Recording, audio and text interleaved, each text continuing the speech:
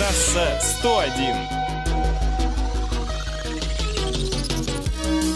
Приветствую, в эфире трасса 101. Владимир Сметанин не нарушает. Почти. В начале 23 года в нашей стране оживился вторичный рынок легковушек. По данным агентства «Автостат», в январе наши соотечественники купили авто с пробегом на 7% больше, чем за аналогичный период прошлого года. Лидирующие позиции заняли модели Lada, Toyota, Hyundai, Kia и Nissan.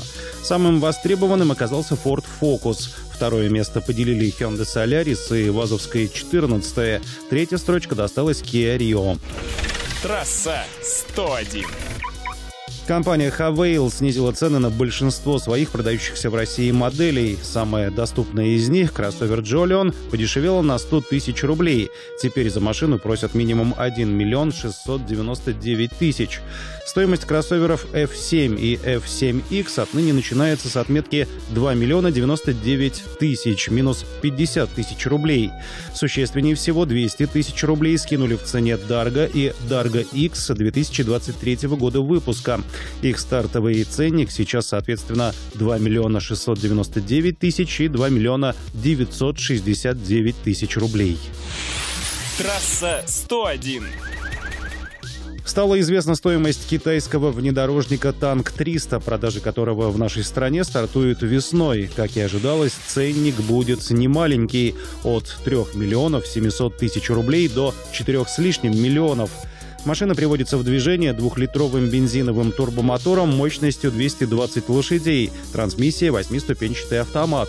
В базовой комплектации присутствуют такие опции, как цифровая приборка, адаптивный круиз-контроль, светодиодные фары, подогрев всех сидений, блокировка дифференциала. Трасса 101. Женатые мужчины, оказывается, ведут себя за рулем аккуратнее, чем неженатые. А вот у представительниц прекрасного пола семейное положение особенно на манеру вождения не влияет. Это выяснили в одной из известных российских страховых компаний. Однако у незамужних дам есть одна неприятная черта. Они в полтора раза чаще разбивают автомобиль так, что ремонтировать его нецелесообразно. У мужчин-холостяков этот риск выше лишь на 17%. Трасса 101. Жителя набережных Челнов осудили за то, что он вывел из строя комплекс фиксации нарушений ПДД. Мужчина двигался на своем автомобиле и заметил на обочине так называемую треногу. Тут гражданина, как говорится, переклинило. Он достал из машины топор и нанес им сокрушительный удар по прибору. Кроме того, челнинец угрожал находившемуся рядом оператору комплекса. Собственник камеры оценил ущерб в 700 с лишним тысяч рублей. Суд назначил нарушителю наказание в виде трех с половиной лет лишения свободы условно. На этом все. Подписывайтесь на наш телеграм-канал «Трасса 101». До свидания. Трасса 101.